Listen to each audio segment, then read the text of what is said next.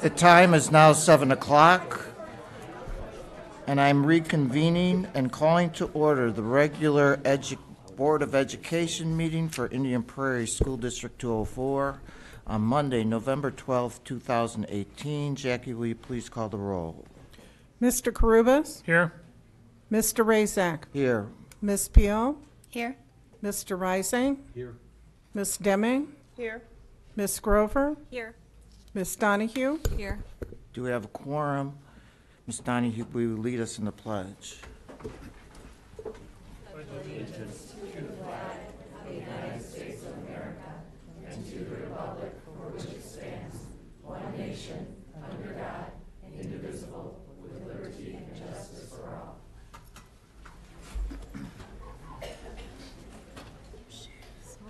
We have several board salutes today. Ms. Deming, I'm going to begin with you. White Eagle Project Arrow student wins national writing contest. The board salutes White Eagle fifth grade Project Arrow student Rachel Chen on winning the Council for Economic Education's writing contest. Rachel beat out over 4,000 students from around the country, answering in 50 words or less, what economic advice would you give the President of the United States? Congratulations, Rachel. That you did it in 50 words or less. Ms. Peel. I probably could have done that in four words. I don't know.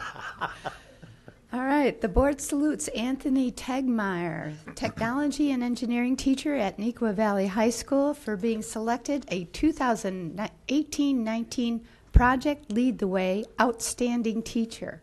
He is now eligible to become a Project Lead the Way National Teacher of the Year. Congratulations on this outstanding achievement. Thank you. Mr. Rising. The board salutes Metea Valley's Natalie Johnson on being recognized as the recipient of the 2018 Lumen Award by Lewis University College of Education. The award is presented annually to a Lewis graduate based on that individual's accomplishment accomplishments as a professional educator as a light in education. Recipients inspire and guide others to make a difference for their students, their families, and their communities. Congratulations, Natalie, and I saw the video and the pictures on it that our superintendent surprised her as well. It was, was oh, really Tia nice. knows how to do surprises. Yeah, it was, it was a really nice celebration, it looked like. Congratulations. Great, thank you. Ms. Grover. Neuqua Valley students take first place in Nokia Next Best Thing Mission to the Moon Challenge. The board salutes the Neuqua Valley student winners of the Nokia Next Best Thing Mission to the Moon Challenge. Nokia of Naperville recently partnered with TEDx Naperville in providing this research opportunity. The goal of the project was to research ways the 4G network and the moon rovers created by Nokia would sustain or improve life on the moon from an environmental and cost-effective perspective. Neuqua Valley placed first and second in the competition, and the first place team presented their research at TEDx Naperville this past weekend. Congratulations to Carrie Cahill and all those involved. Thank you. It's now time for our student representative report. Today, it's from Waubonsie Valley High School. And we have Sam Jordan to share with us. Welcome, Sam. Welcome, Sam.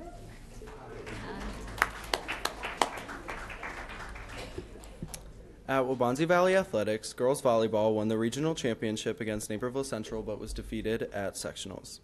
Waubonsie's varsity football team finished the season with a record of seven wins and four losses. The team made it to the second round in playoffs. Waubonsie's varsity boys golf team finished undefeated in conference.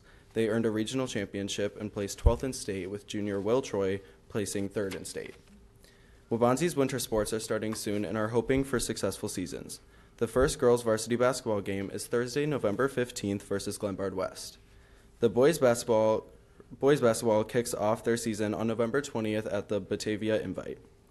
In academics, post-secondary night is on November 15th from 6:30 to 9 p.m.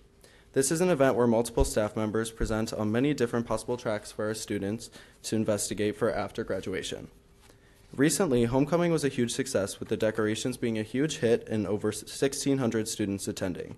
We're confident that all students had a great time in their Roaring Twenties themed dance. Waubonsie's fall play, Mirth and Mayhem, was October 25th through 27th, and it was a major success with a total of 43 students involved. Also, the Veterans Day Assembly was last Friday. This year's assembly showcased an interview style message from Pablo Araya, the Judd Kendall post commander, Tom Parker, the former post commander, and WV Dean Mr. Jacobs, who is currently a master sergeant in the Air National Guard. Our event was last Friday, as I said, and as always, created a lasting impression for our students. This year's theme was the purpose of service. Another initiative that WV has is to collect snacks for the Naperville branch of operations Support Our Troops. This year, the student body collected over 95 boxes of snacks. This should translate into over 2,000 pounds of snack items that will create an estimated 500 snack packs for soldiers currently deployed. In upcoming events, Waubonsie Season of Giving is coming up in December. We will have a giving tree in which students can choose to donate winter essentials, and Student Council will arrange to have it donated to Hesed House. This will take place from December 3rd through 14th. Also, in, or on November 13th and December 1st, we have Prism. Times for the shows are 6 o'clock and 8.15 each night. Reserve your tickets soon if you plan on seeing this show because it's one of a kind. And, as always, once a warrior, always a warrior. Thanks, Sam. Thank you.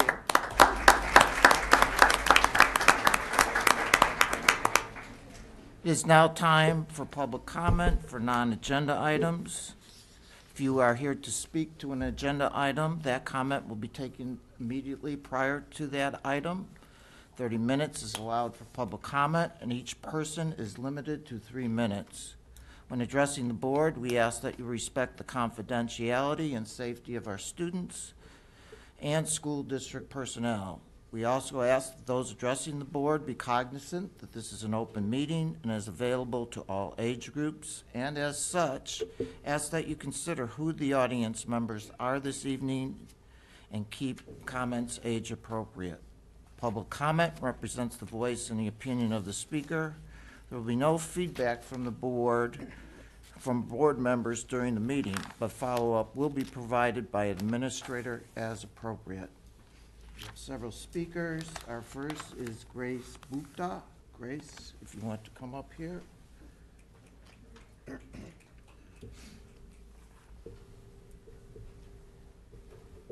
Welcome. Good evening. My name is Abby Melbon. Grace and I switch spots, but um, and I'm a senior at Metea Valley High School. I'm here tonight to discuss District 204's lack of compliance with Illinois' Learn with Dignity Act. This act went into effect on January of 2018 and requires all Illinois high schools to provide their students with free menstrual products and bathrooms.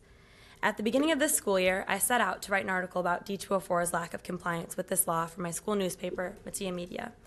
For my interviews, I reached out to nonprofit owners, district administrators, state reps, Naperville Central's vice principal, and most importantly, students. And I quickly drew the conclusion that D204's disregard for their student body was immense. Our district's response not following the law was because of quote unquote sanitary and hygiene reasons. However, that should be the main reason that menstrual products are placed in bathrooms to allow students with a period to feel clean. District 203 strictly enforces this law, and according to the assistant principal, there have been no issues with these products, and purchasing these products haven't affected the budget. 20% of my high school student body is from low income families, which means that 20% of Metea students might not have the funds to purchase their own products, and legally, students shouldn't have to worry about purchasing their own products because they should be provided at school in the bathrooms. While writing my article, Metea administrators placed signs in the girls' bathroom directing students to the nurse's office if they were in need of a free menstrual product. After I published my article, the Metea nurse reached out to me to let me know that those products were for em- emergency situations only, and that they didn't have the means to provide for all the students in need. However, despite the signs, despite the products in the nurse's office, despite all other reasons the district has mentioned as to why they're in legal compliance, they're simply not following the law. The law doesn't state that signs can be in bathrooms. It doesn't state that products can be placed in the nurse's office. It states that menstrual products must be in bathrooms. The fact of the matter is that some students aren't comfortable about talking to their teachers about their period.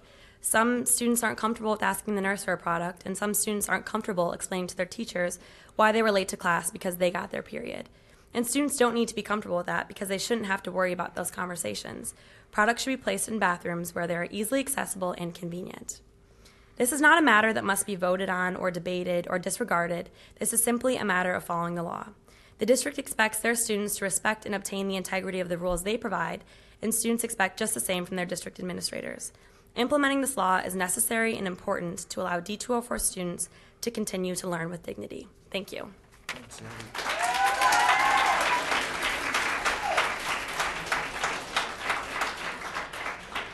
Okay, I'm going to try again with Grace.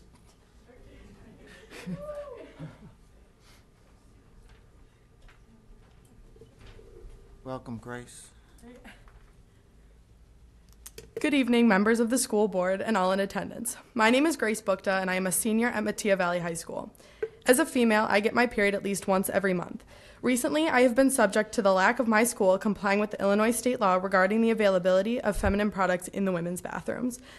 While I like to say that I am one with myself, I am not in all aspects of my life. Two weeks ago, on October 30th, 2018, I got my period.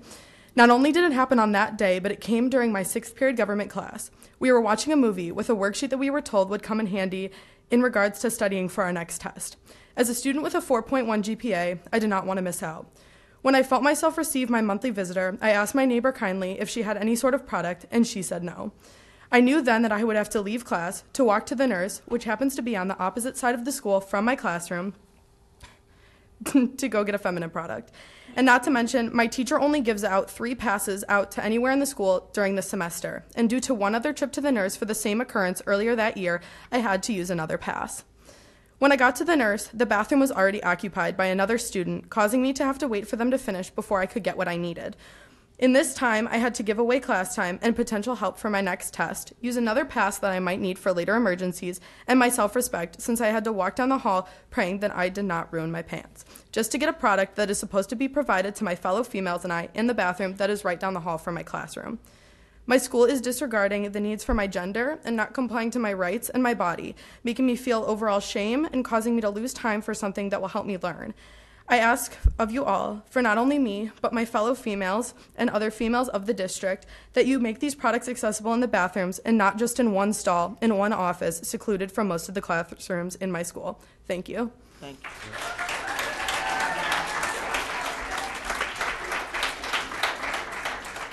Our next speaker is Avani Shah.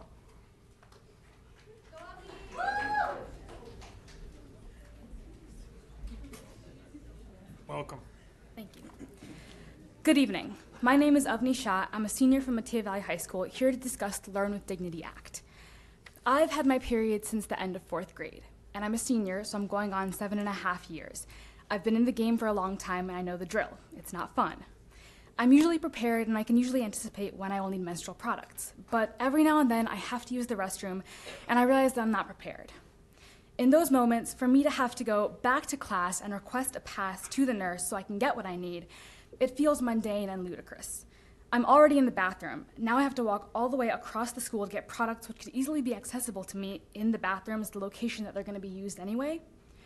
I'm wasting valuable learning time going on a wild goose chase because apparently we don't see it fit to place menstrual products in bathrooms, even though that's where they're going to end up anyway. In the seventh grade, I was diagnosed with endometriosis. It's caused my periods to be irregular, heavy, and incredibly painful. I've had the good fortune of being able to see a doctor and get taken care of. But for many students, their periods are just painful and problematic without a formal diagnosis. Times like that, it would have felt good to know that my school district would provide for me should I need them to. It's not an unreasonable request to ask that the district support students who have to deal with menstruation in the capacity that they can, as opposed to making this aspect of students' lives harder.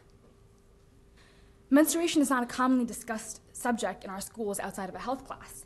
An argument against placing these products in bathrooms said that young women haven't complained to the administration about it. Respectfully, a lot of us aren't comfortable talking to our fathers about our periods, let alone male teachers and administrators.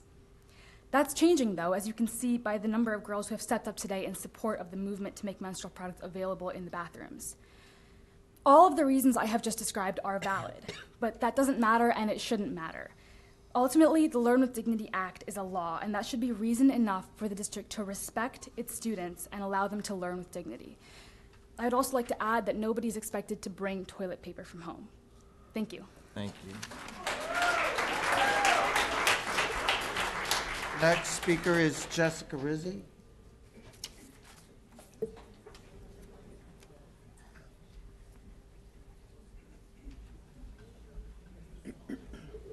Welcome. Welcome. Good evening. So, I'm going to talk about a little story that I had last year. Also, my name's Jessica Rizzi, if you didn't. um, last year, I remember I was in AP. I didn't know what to do, and I really had to use the restroom. So, I proceeded along the hallway, asked my male teacher if I could go. When I got there, I noticed, oh, I got my period. So, I then had to walk all the way back to my class to ask my male teacher to go back to the nurse to get a feminine product. Then he said, What's the emergency? So I said, Oh, I just have some pain. Can I go to the nurse? He said, I need more spe- specific details. I said, I got my period. I am just very confused why I have to explain to a male teacher why I got my period and what, what I need. I'm very also confused why I have to walk my way all the way back to the nurse's office when I could walk two steps to a bathroom and just get what I need. And it's very frustrating when many girls also have to do this. I understand girls should be carrying their own products, but also some people can't afford their own. So thank you for listening to all of us. Thank you. I hope I don't mispronounce the next name, but Emelone Kem? I guess I mispronounced it. Help me with your name, please. Emmeline Kerwin. Oh, Emmeline, I know Emmeline. you were my principal in, uh, elementary school. Okay. Yeah, Okay. Um, hi, my name is Emmeline Kerwin, and I'm also a senior at Metea Valley High School. Um, I also want to share my story about how this relates to me. Um, sophomore year, I was in a class called auto mechanics, so it was kind of like working on cars and that kind of stuff. So there were only two other girls in that class, and um, they were seniors, and I was a sophomore. They weren't very friendly with me, and they happened to not be there this day. Um, but we were sitting there doing uh, book work, and I felt that I got my period unexpectedly. Um, and I had assumed that I had menstrual products in my backpack, so I had to go up to my male teacher and lie to him as to why I had to bring my backpack with me because I wasn't comfortable telling him that I got my period. So I had to lie to him then, and then I went um, out of class to the bathroom, and then I realized that I was unprepared and didn't have anything. So then I was a little concerned because I didn't know what to do. So I had to sit in the bathroom and wait for another girl to come because I couldn't leave um, with how my situation was at that point. So I had to sit and wait for another girl to come in that had an extra um, tampon for me to use. Um, when I got back to class, my teacher kept asking me for an explanation, and I didn't really know what to say because I was so embarrassed at um, at what had happened.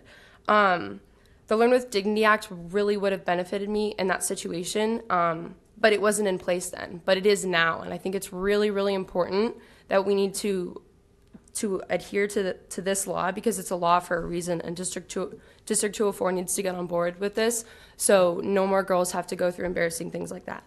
Thank you. thanks, Emmeline. Next speaker is India Williams.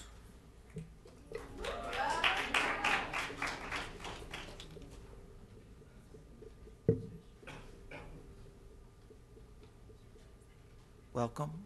Hi, good evening, everyone. I first learned about the Learn with Dignity Act after I was interviewed by Abby Melbon, in which she informed me that the district, the district has to uh, supply menstrual products in the bathroom.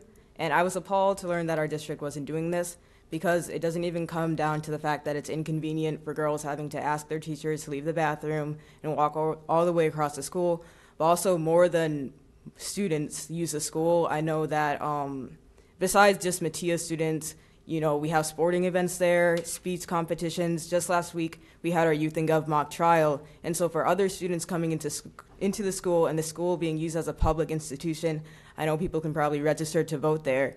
It should provide menstrual products, not only just students, but other people who may come and use the school. On Sundays, I know there's a church service there, so it's not even just a matter of the inconvenience of students during the day needing to get their products, but also for everyone else who uses the building. And it's a matter of respect. Thank you. Thank you.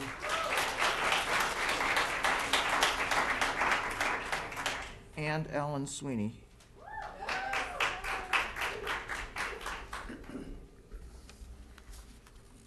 Welcome. Thank you. My name is Ellen Sweeney. I'm a senior from Waubonsie Valley High School.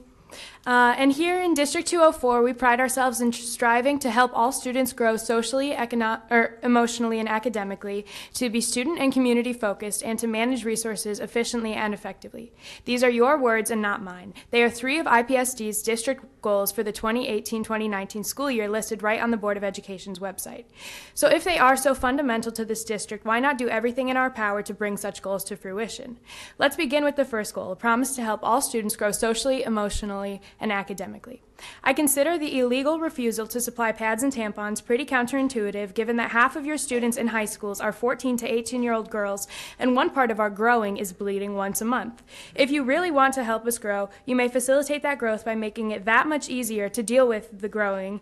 Um, by supplying pads and tampons. In fact, you can actually kill two birds with one stone here and also help our academic growth. In the time it takes to ask for a pass to the nurse, go to the nurse, sign into the office, and ask for menstrual products, we could be in class learning instead.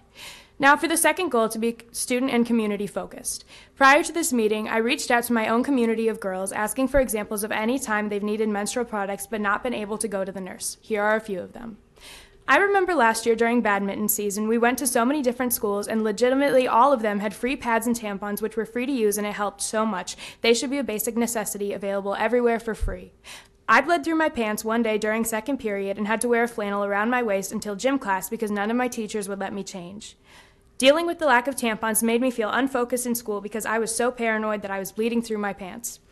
I now go to Plainfield North, and the amount of times I've gotten an irregular period and had to go check my situation is innumerable. At my school, we have panty liners and cheap tampons that do a sufficient job that can sustain me for a whole day.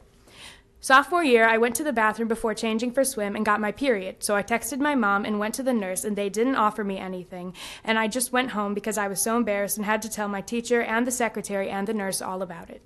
I once got my period, and no one in class or in the bathroom had tampons, so I went to the nurse, and they were out of both. Once I got my period, and I wasn't ready to use tampons yet, and nobody had pads, so I went to the nurse, and they only had tampons and not pads. So, administrators, let your students speak for themselves. All we ask is for easy access to an easy solution to a chronic disruption in our academic lives. Thank you. Thank you.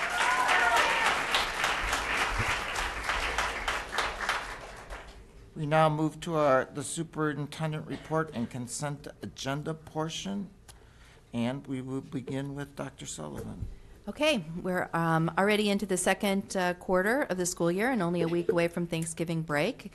And today and last week, our school celebrated Veterans Day with various assemblies and events, activities. I know the ones that I was able to attend were very um, moving and well done, and I know several board members were able to attend um, several of the events. I know some people got the thrill of seeing the Black Hawk helicopter land at Metea Valley. That would be Lewis. He was very excited. And I think Mr. Rising saw I it s- take I off. saw it take off, yeah, Okay. yeah. So I want to thank all of the veterans and members of the armed forces who participated in the events in our schools as we honor them for their service and as we educate our students about why this is such an important day for our country. So a reminder to our parents to join us this Wednesday night um, at um, Waubonsie Valley in the auditorium from seven, uh, starting at seven o'clock for our first ever parent school safety night presentation. Some of the safety topics we're going to include are what parents should teach their younger children to help keep them safe, uh, the district's partnership with police and how um, our school resource officers work with staff and students, Alice training in our schools, our new program that involves a school safety dog, and how students and parents can re- report safety concerns. So, all District 204 parents are invited to attend, and students are encouraged to attend at their parents' discretion. And lastly, Thursday, November 15th, is School Board Members' Day in Illinois. So I want to take the time to thank our Indian Prairie School Board members for their service to the district and the community. And being a school board member requires a sig- significant um, commitment of time and energy. And I know that many of you had no idea about that commitment of time and energy when you first took the um, this volunteer position.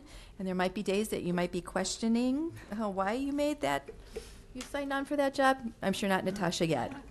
Um, but we know from research that highly effective and efficient school board um, that focus on the things that matter have a positive impact on student achievement in um, this district. So I'm proud to work for a group of volunteers who are committed to being that kind of school board.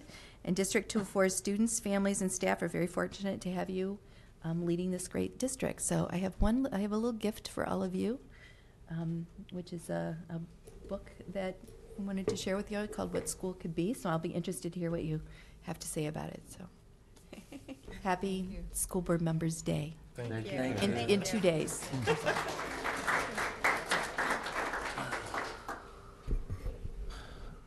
I need, I now need a motion that the Board of Education approve consent agenda, agenda items D through H as presented. I move that the Board of Education approve consent agenda items D through H as presented. Second. I have a motion and second. Any discussion? Hearing none. Jackie, please call the roll. Ms. Donahue? Aye. Mr. Rising? Aye. Ms. Peel? Aye. Mr. Karubas? Yes. Ms. Grover? Yes. Ms. Deming? Aye. Mr. Raczak? Aye. Motion passes. I'm going to ask, I'm going to ask the board if I have permission to move the approval of the Illinois Association of School Board Resolution and Position Statements to letter A instead of D in order that I can accommodate our audience. Is there any objection? Hearing none then, I'm going to go to our public comment for agenda items. Again, each person is limited to three minutes. I think you just heard what I said before. I'll repeat a little bit. Public comment represents the voice and the opinion of the speaker. There will be no feedback from board members during the meeting, but follow-up will be provided by an, an an administrator as appropriate. And with that, we have Shelley Sandstrom. Shelley? Welcome.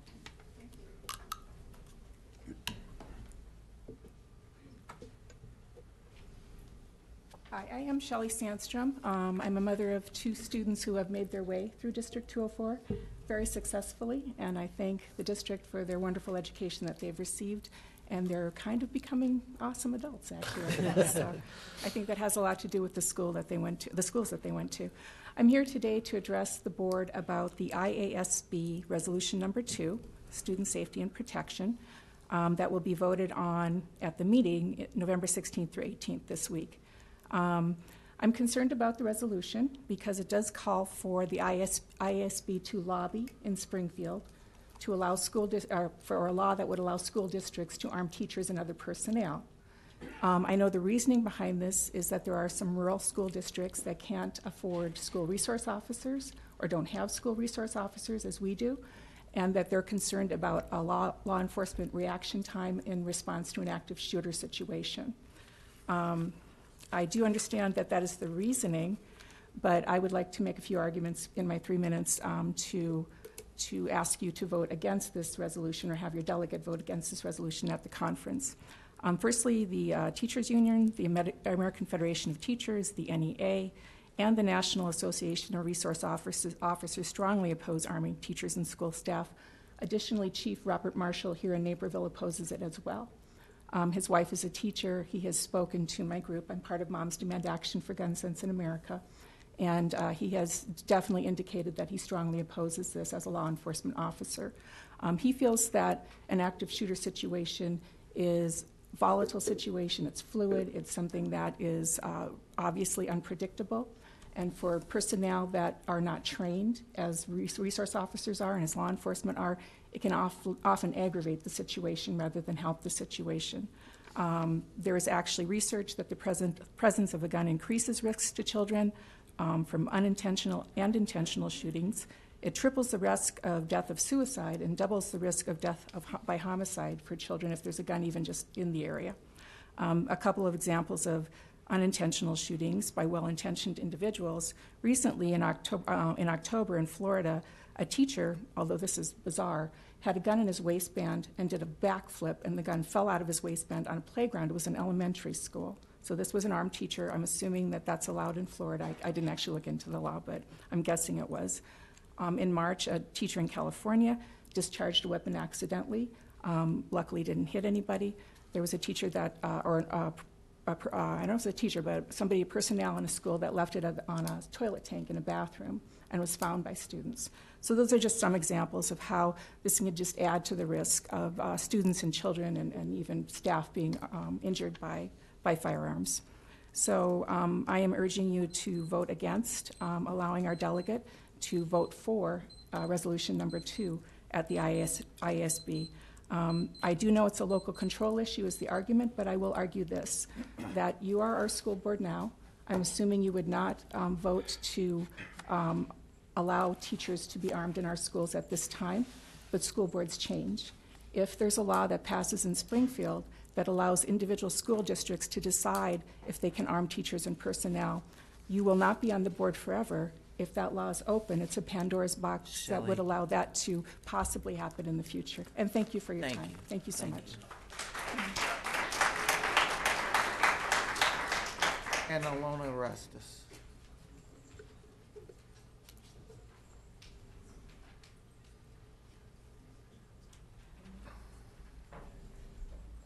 Hi, Alona.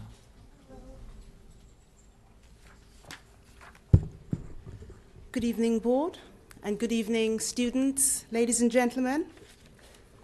I just want to reiterate what our lady just shared with us. Um, first of all, it's a pleasure to be here.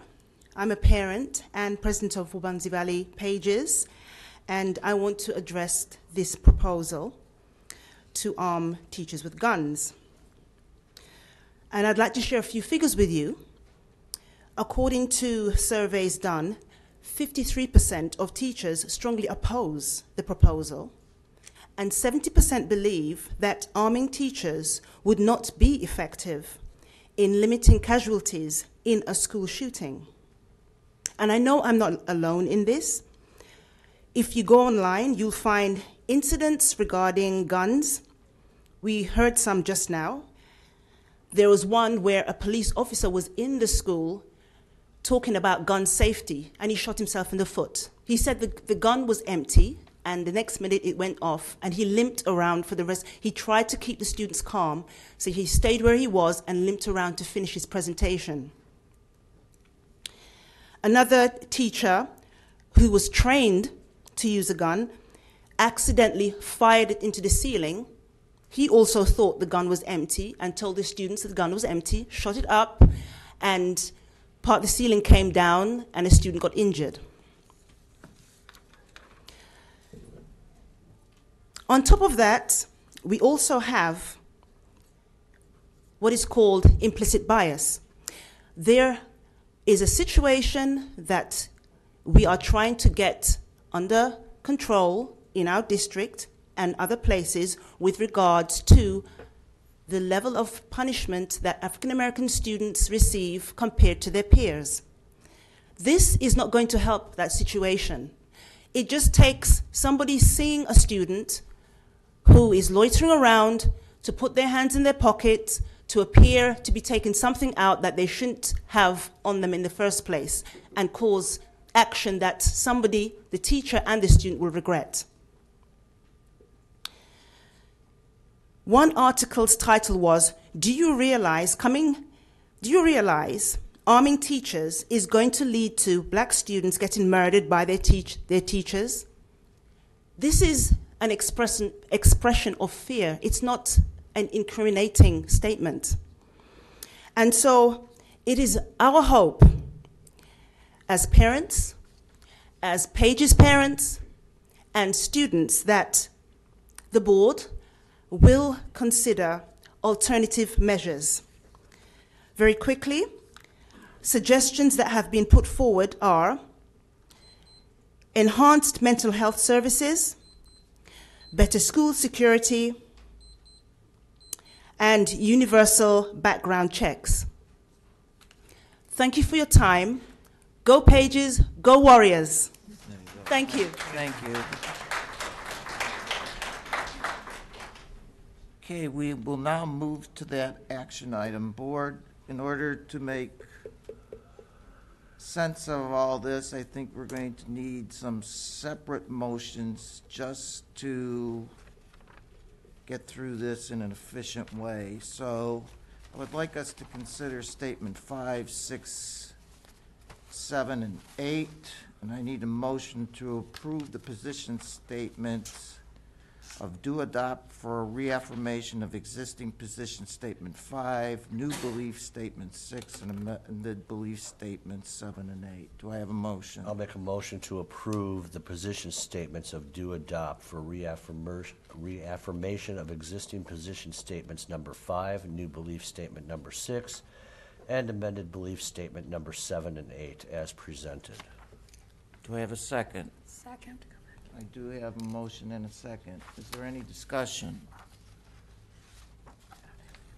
Those are the, all the ones that are not the gun control one, right? No, Or that's the- yours and Kathy. Yeah. Let me, Yeah. let me, Yeah. Share with one, please share with. So, five is the position statement, two point two seven about charter school funding. Then six is the new belief statement from District two oh four about local authority and safety practices. Evidence-based safety practices, which was Okay. the whole point. Yes, Mrs. Peel, thank Thank you you. for helping me. And then there's the amended belief statements, one by District 204, and student vo- voter registration, and also number seven is about mental health services. You want to, I think that they're in our packets, and we have them here. Any further discussion? Oh,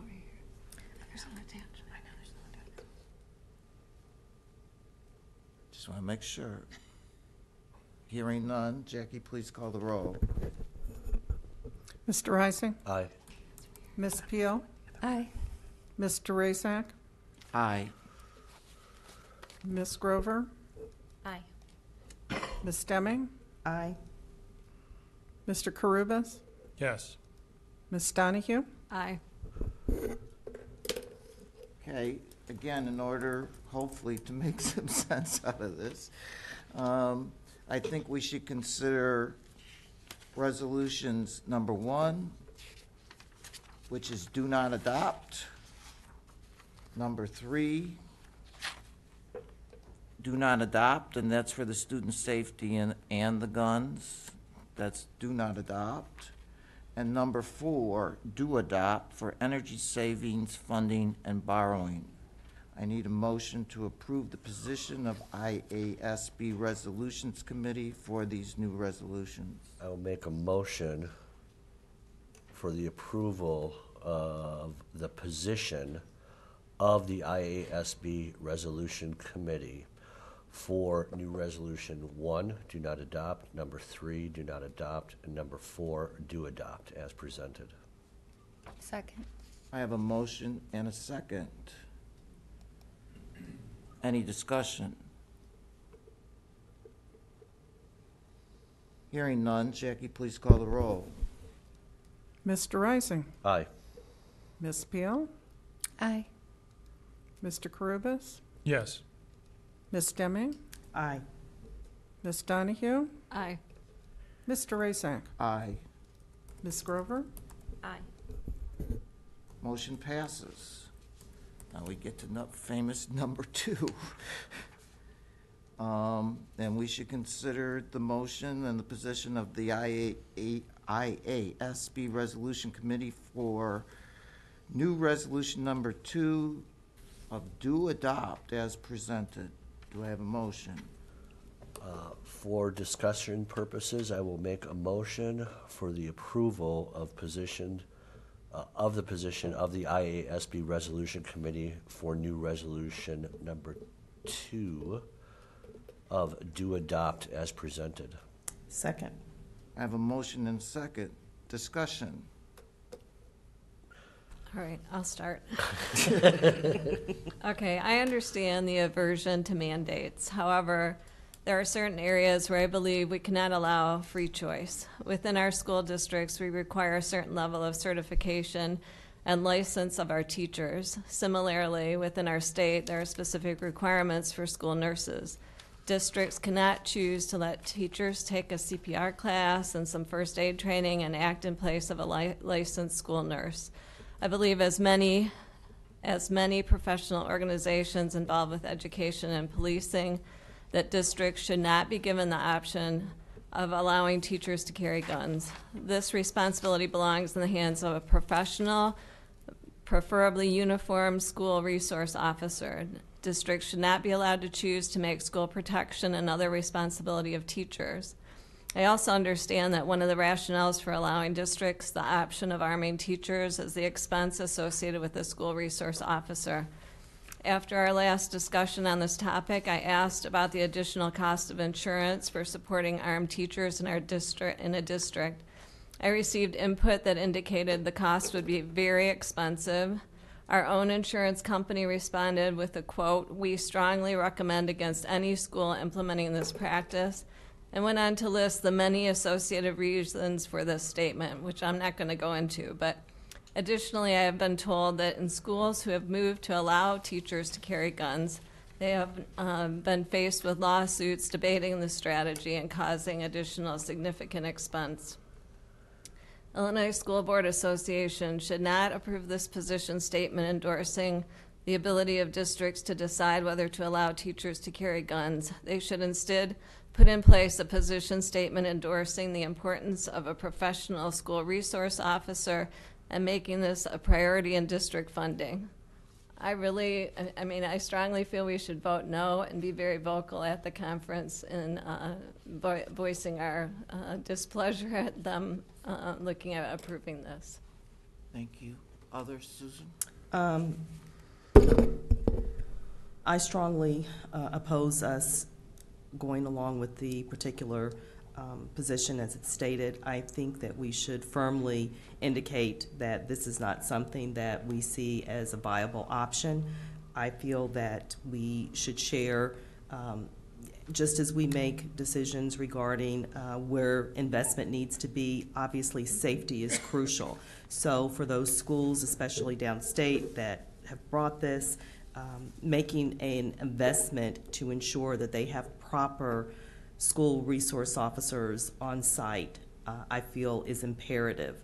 One of the things that uh, I took a look at from a research standpoint, looking at just the number of national associations that oppose arming students and administrators. The National Association of School Resource Officers, National Association of Secondary School Principals, National Association of Elementary School Principals, the American School Counselor Association, the School Social Work Association of America. And then, um, as already has been mentioned, in addition, specifically for our district, our Naperville and Aurora Police Departments strongly oppose uh, that situation as well. From uh, a final standpoint of consideration, just looking at the potential harm that it can put students in, that it can put teachers and administrators in, is just something that I don't feel that we should at all subject our schools to. And then in addition, um, Alana mentioned earlier some of the challenges with students of color, Latino and African American students. There can be a, an, an additional potential of risk for students um, in harm's way. So I strongly want us to indicate no on this particular policy. Mr. Karubas? It's gonna pass the IASB, and it's gonna die in Springfield. I'm very sympathetic to the lack of resources and local control issues, and the response time. That, uh, we're fortunate that we've got great response time. People are here immediately.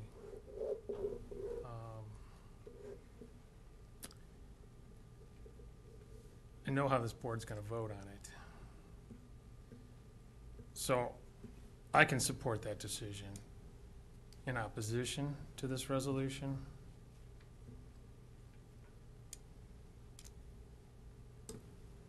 That's all I got. Ms. Peel? Well, um, I think if we uh, were going to vote for this resolution, we would be voting against our own resolution to support evidence-based practices for security measures. And um, Why is that? because there is no evidence-based measures that suggest arming teachers as a matter of defense against an active shooter. So should, Nothing, nothing. And they've just listed every single organization who has been a part of any of the planning. So shouldn't, if they, if they, schools have the option of developing a plan, uh, and they I'm use evidence, shouldn't they come to the same conclusion? So, what is the evidence, though? There is no evidence that this would work. There's evidence that there's a danger to it. There's not evidence that it is a viable solution. So do you not trust other school boards I- to, to go through I- that process and come to that same conclusion? I'm going to say, no, I don't. I agree with Lori's statement that there are some things that we do need some mandates on. And, and I think this is one of them. I would agree with Kathy, because if, if we could see school boards that would look at, re- um, recognize that there is no evidence, then this would not have come forward to begin with. What if it were the other way around? That they mandated arming teachers? I would be in Springfield and I would Oh, be my protesting that. and that was one of the reasons why I put our resolution up in the first place was to get that out there in, fir- in front of suggestions that we arm teachers. So we knew this would be a discussion. I didn't know it would be exact same time as ours. um, but I thought if we have resolutions that speak to evidence-based practices when there are none, I mean, with all the literature that's out there, there is nowhere that suggests arming a teacher is a good idea. It's actually a danger to our students. I, I would hope every school board member would understand that and, and do their own research. But you and I sat at that committee table, and I am not sure that will happen because there are some people who felt that they could handle anything. without Passed the thinking about resolution committee? Did. Although, I, I, I disagree with you that it'll for sure pass the ISB How, delegate how many assembly. people are on the resolution committee? Uh, It's, that, um. There's it's one from One all- from everybody, Every so. district. From the region. How many people are there? About And fifty? there's, Yeah, it's forty or so. Okay. But there's- But there's- eight hundred and some districts, right? Yeah, I mean, there's eight hundred districts, and most of them are rural. I, I, I just, I think, you know, it's the House of Representatives, is there? Okay. But Justin, even, even potentially, if you feel that, that it will pass, that doesn't mean that we can't share uh, whatever our board decides. Sure. We, we need to, we need to share what our board decides. Mr. Rising. so, you know, I appreciate where Mercer County District 404 is coming from, where this, this resolution stems from. Um, You know, I get that they're a rural district. Um, They've got one high school, one intermediate school, and two elementary schools. Thirteen hundred students.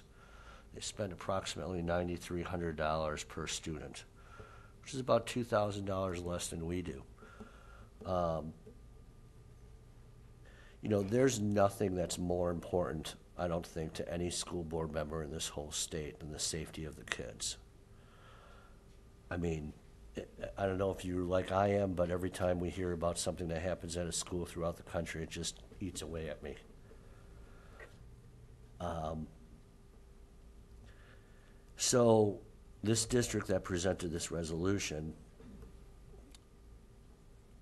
made a compelling argument. Takes police a long time to get there. They don't have the money to afford a, school resource officer. But if safety is their number one priority, I question where they're focusing their resources at. Now, I understand districts have struggles. We all have struggles. We put off our maintenance for many, many, many years to afford some of the things that we needed to in this district. I've got, on one hand, I, I feel like every district should make their choice. So, you know, I- I've got to believe if this were ever to get to legislature, legislature would say school districts can make their own choice on this issue. So, to me, that's a wash. Then I get back to, how do I feel about it?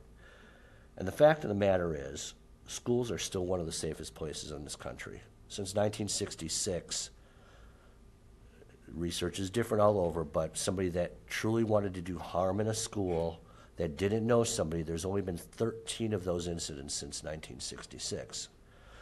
There, up until last September of 2017 in Mattoon, I believe it was, where there was a, a student with a gun. The teacher stopped him before he did anything.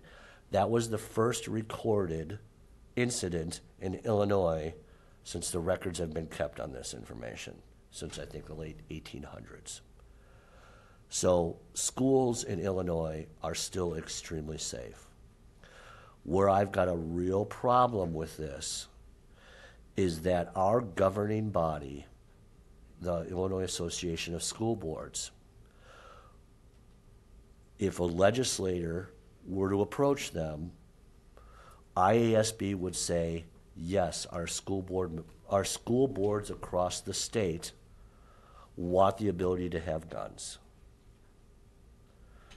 That is a dangerous precedent we, our governing body is setting for policy. And I just got a serious problem with it because you know, I as I said last time, you start having guns in schools, you start normalizing it even more. There's more risk of things happening, in my opinion. Um, and, and, the, and the statistics show that when there is less guns in an area, there is less gun incidents. So why do we want to put guns in schools even more?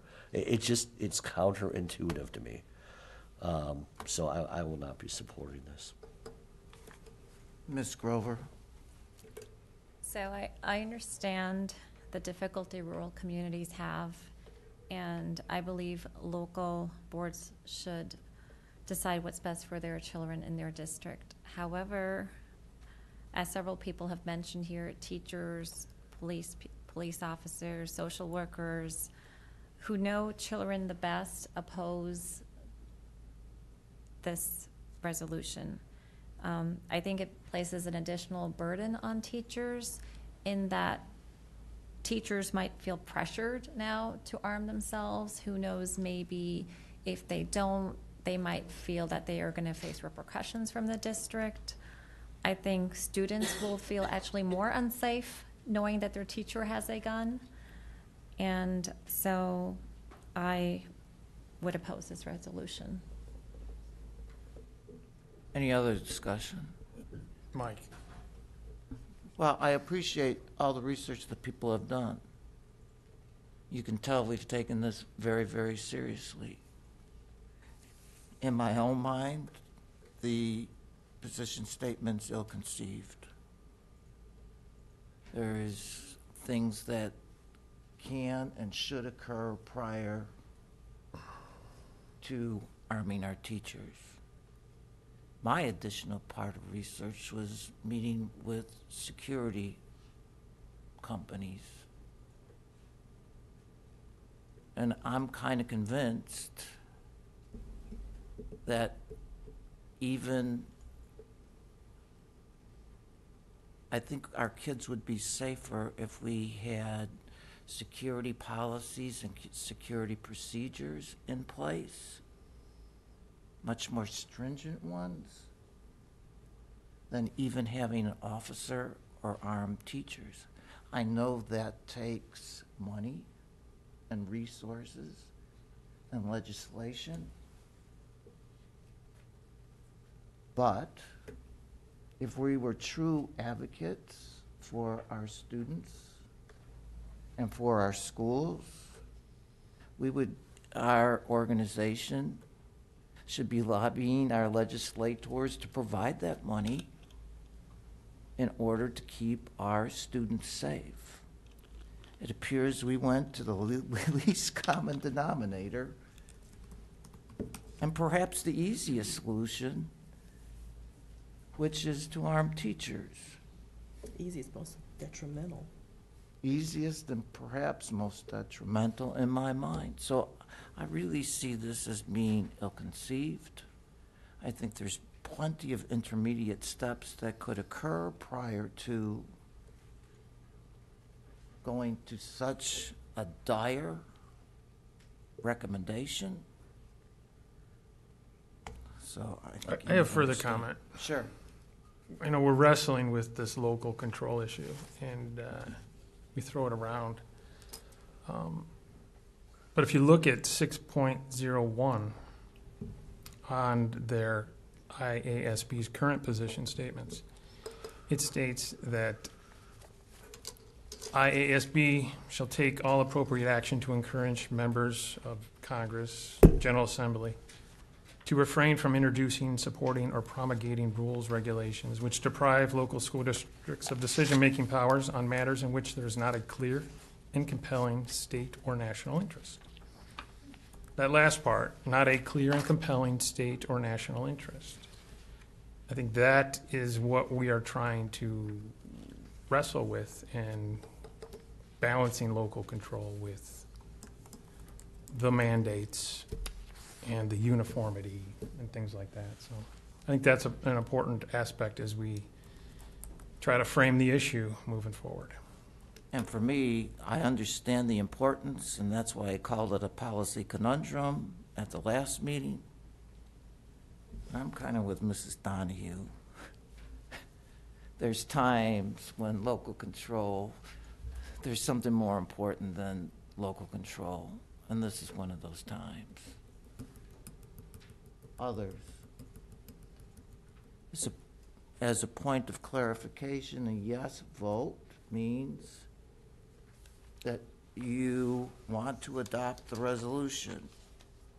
A no vote means that you're opposed to the rev- resolution. And the recommendation from IASB is do adopt. Jackie, call the roll.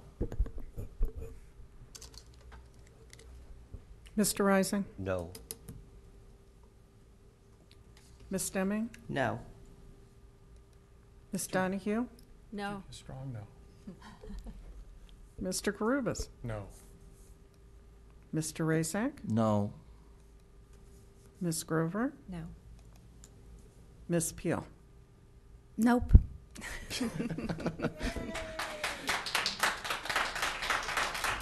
Motion fails. Mark, you have your marching orders now. Yeah. Okay, I have a question. So, does, do you have an opportunity to speak on the? I, if, uh, I was gonna ask that later, but I can ask it now. If, if the board would like to me to make a statement I have before on behalf of our board, I'd be more than happy to. I, I can take some of what was said tonight. I made some notes and, um, you know, uh, if there's something specific you'd like me to say or something very short and sweet you'd like me to say. They don't give you much time. They give you about 20 seconds, you know, so, but, but I can be pretty impactful in 20 seconds. I thi- I think Certain we, you can. I think we should focus on the positions that we're trying to advance during this I- session. Yeah. I mean, I Well, just but asked- chances are those I won't just come up asked- for discussion, Justin, um, is my Just guess. that'd be good. That'd be But, good. but no, I, I would like to see ours, ours definitely uh, pass, our two pass. Okay. Um, Just a question. you know, I, I, I found some additional information out as I was researching this that in advancement of the resolution committee meeting on Saturday, I will be sharing with IASB and I may even, I may even out of my own pocket make copies of what I found and put it on all the school board members' chairs before they get there About what? Um, where this has actually stemmed from. Where? Or what stemmed from? Yeah. There was an article written i- i- back, uh, we all are familiar with the uh, Illinois School News. Jim Um, Yeah, Jim Broadway. And um, he said that, you know, he, that he felt that there was a, a, a push to arm educators in Illinois coming from an NRA affiliated group called Illinois Carry. But rather than testify about their idea openly in legislative hearing, they want IASB to lobby, a lobbyist to do it. So there's thinking that, you know, school board member brought it up in, in Mercer District and so. I would be knows? careful about taking political I, stances. I know. so- No, yeah, no, I wouldn't, but I, I will just We- stick to the we're in arguments, a I will stick to the s- arguments that we made as a board. I prefer not, that not to, to be distributed. No, I won't.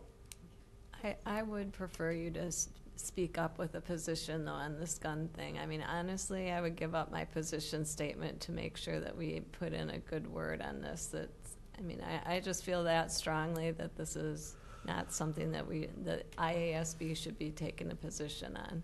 Well, and, and there may be a later discussion as well. Mike and I have had conversations about, with us being such a large school district, should there be, More dis- votes. should there be discuss, should there be discussion that our vote carries more vote. weight in the state? I mean, I know we are all individual boards, but at the same time, you know, we pay dues and we have some big dues, so. Well, we can discuss that at a later That's not going to change it. But yeah. normally, he- I don't think we have to trade our resolution for It theirs. No, but it kind of sounded like we needed to make a choice. Do we defend our ones that we're presenting, or do we attack this thing, right? That's kind of what I heard, and I'm like, well, really, if that's the choice, I, I really don't think anybody's gonna really attack the one I No. propose, and I'm not sure about yours, Kathy, but I doubt it. So like, if I have to vote, I want you to go and attack that one. Yeah, no, I will, you, you know within the first five minutes uh, of the resolution committee meeting if a resolution gets pulled for discussion. So you know right away. So it's not a wait and see type of thing. And then they usually vote on those kind of as a slate, and then they focus on the ones that need discussion. So personally, I'd like you to prepare your 20 seconds of something extremely impactful. And that's why I had to write down my thoughts because I had so many negative ones that I had to put down the top things that I Yeah. wanted to say. I, well, I I, will see you guys all Friday. So the meeting is until Saturday. So we'll have a chance. I'll have. I'll. I'll make sure I meet with each one of you individually, and and uh, you can let me know how you feel about what I put together. I'm sure you could just email them too. Your Or yeah, email Okay, me can if, do if there's something specifically you want me to say or a sentence. Yeah, shoot me an email. And I Just- think we heard from enough of our constituents, you know, of, of, of our com- community, um, community personnel, how they feel about this, so. Yep. um, an Yeah, if you want to opportunity share. individually send me just an email, obviously don't copy the board. Um, but send me, you know, what you'd like me to say, and then I'll come put that all together. Okay, I think we're ready to move on.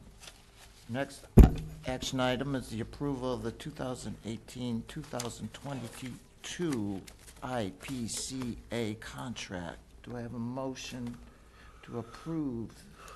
So moved. Can you read the whole thing now, Okay. please? Thank you. I move to approve. I can't That is too long. I can't. The 2018-2019 IPCA contract. Thank you, Justin. Oh, okay, sorry, I said go ahead. 18, I'm sorry, 2022. somebody else read it, yeah, I I'm having can't- problems I too. I move that the Board of Apparently y'all are. Education approve the four-year negotiated agreement between the IPCA and the Indian Prairie School District Board of Education. Do I have a second? Second. I have a motion and a second. Gentlemen, sorry, past nine Mr. already. Arcarius.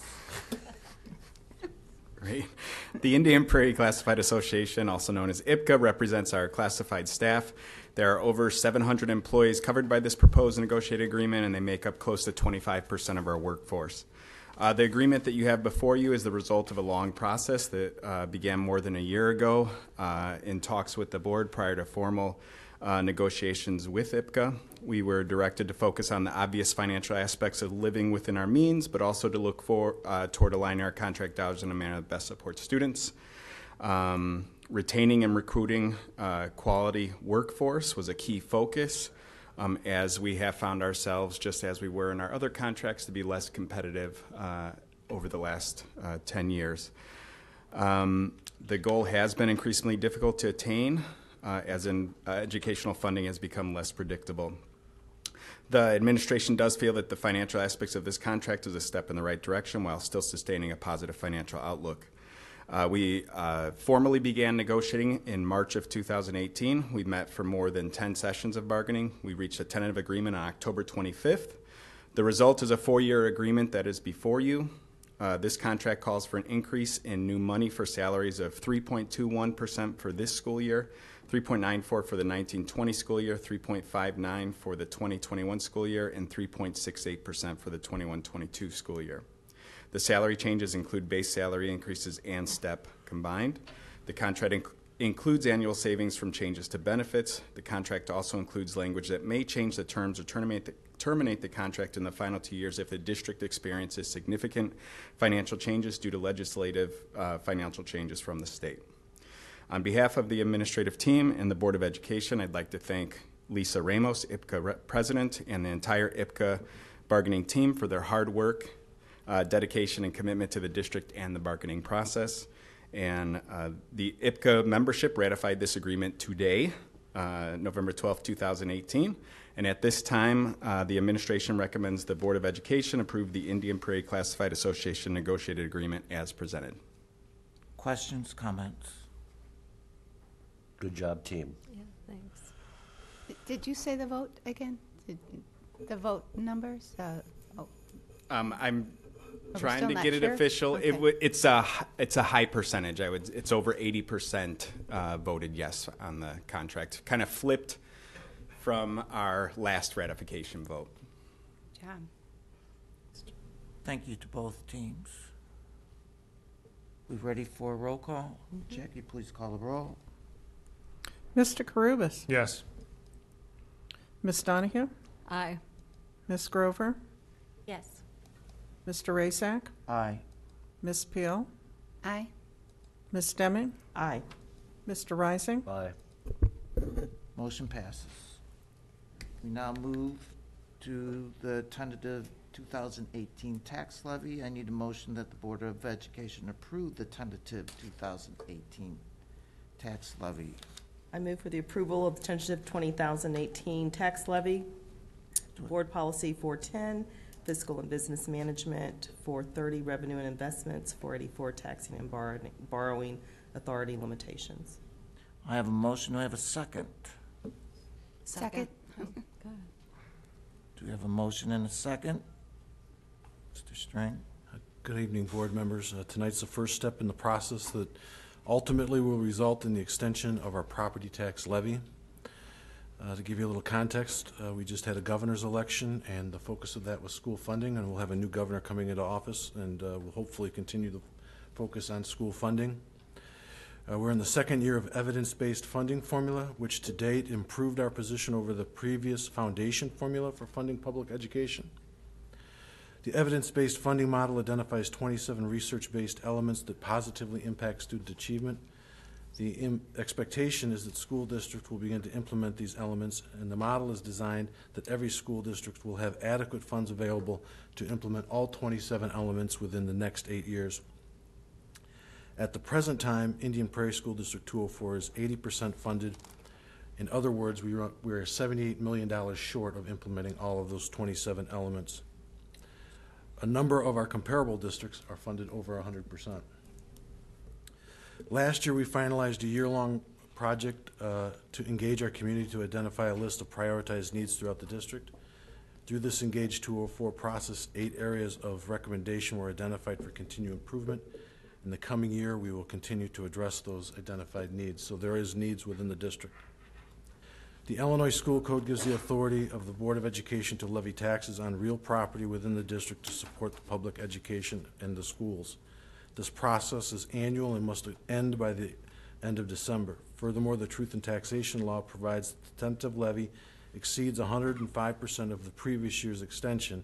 A public notice and hearing is needed for the official levy to be adopted. Since our levy request represents less than 5%, we are not subject to the Truth in Taxation Law this year.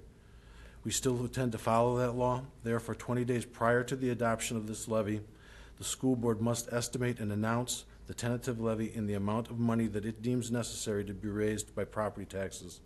This is the tentative levy that we're asking you to approve tonight. We are recommending that the board set a tentative levy in the amount of three hundred million, nine hundred and sixty-five thousand, five hundred and ninety dollars, which includes our bond and interest levy. It's important to note that this is simply a request. This is not what we will receive. While it represents a four point one percent increase over the 2000 le- 2017 levy extension, the district is taxed by the CPI, which is two point one percent. We will not receive a four point one percent increase. In fact, depending upon the amount of new property in the district, we should experience an increase of approximately 3.6% over last year's extension. It's important to note that the levy calls for a bond and interest tax levy of $26,985,694.